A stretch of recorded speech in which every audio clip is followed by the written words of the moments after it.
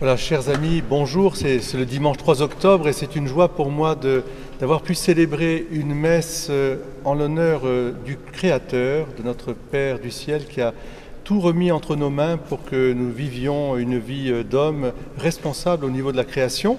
Et j'ai voulu aussi rendre gloire et rendre grâce en ce dimanche parce que nous avons la joie d'avoir accueilli le grand débuché de Provence.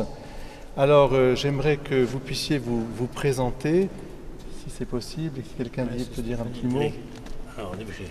Eh bien, euh, le Débuché de Provence est un groupe de sonneurs de trompes de chasse qui a été créé dans les années 90, euh, qui est basé à Salon de Provence, mais il y a des sonneurs dans notre groupe de disons, plusieurs villes et villages de la région, que ce soit d'Orange, que ce soit euh, de Cuges-les-Pins, que ce soit de Salon, enfin ça couvre une très grande aire géographique.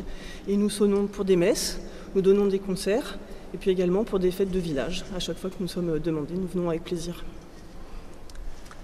Voilà, c'est aussi une, indication importante, c'est que nous sommes dans, dans, une musique aussi qui est une musique liturgique et qui a toute sa place dans nos églises. Et c'est une longue tradition euh, qui euh, se perpétue, et merci de la perpétuer justement, euh, pour que nous comprenions bien que c'est vraiment au service aussi de cette louange que nous adressons à Dieu, créateur et celui aussi surtout qui nous a sauvés. Alors merci aussi pour ces, musiques. Est-ce que vous pouvez nous parler justement de, des compositeurs de ces musiques et de l'époque de ces musiques? Vous corrigerez les si vous voulez. Alors en fait, euh, les morceaux de trompe de chasse, euh, c'est assez ancien puisque ça a commencé même euh, sous Louis XIV avec le marquis de Dampierre. Mais par exemple, les messes que nous sonnons, Jules Quentin par exemple, c'est fin 19e me semble-t-il. Nous avons parmi nous un compositeur de trompe, Jacques Méchin, qui a fait une très jolie messe également. Et donc en fait, le répertoire se renouvelle régulièrement. Mais il faut savoir que effectivement à la trompe de chasse, il y a des messes qui sont écrites, donc c'est spécial pour la liturgie. Voilà. Et ce sont des, comme je vous disais, euh, des morceaux qui peuvent dater euh, du fin 19e euh, et, dans, et 20e siècle aussi. Et puis donc bien sûr la traditionnelle fête de la Saint-Hubert qui réunit dans le monde entier, partout où on célèbre la Saint-Hubert et, c'est l'occasion aussi d'entendre les trompes de chasse donc résonner.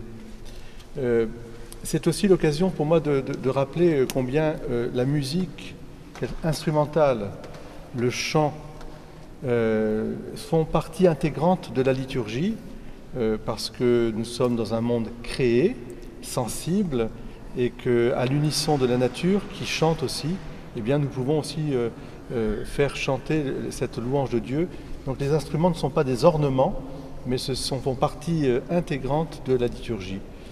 Et puis euh, vous dire aussi, euh, c'est le champ profite, l'harmonie qu'il y a, euh, l'harmonie entre la création, ceux qui gèrent cette création, ceux qui, donc l'homme qui a été placé pour servir la création et non pas pour la détruire.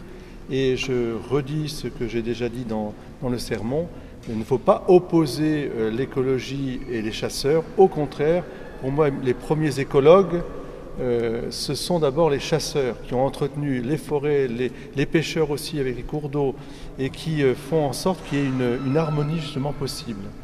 Donc il nous faut, nous, chrétiens, en ce temps un peu de confusion, redire ces vérités euh, simples, d'une distinguer bien sûr, mais pour unir et non pas pour opposer comme pour séparer.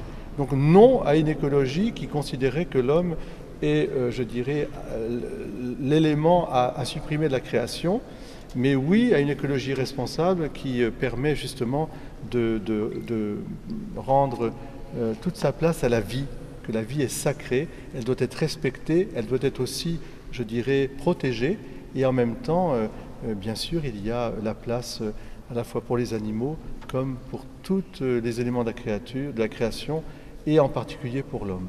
Et merci aux la chasse, la chasse pardon, à la pêche et à la tradition d'être toujours bien représentés. Et le Grand Débuché de Provence, vous en faites partie. Merci à vous.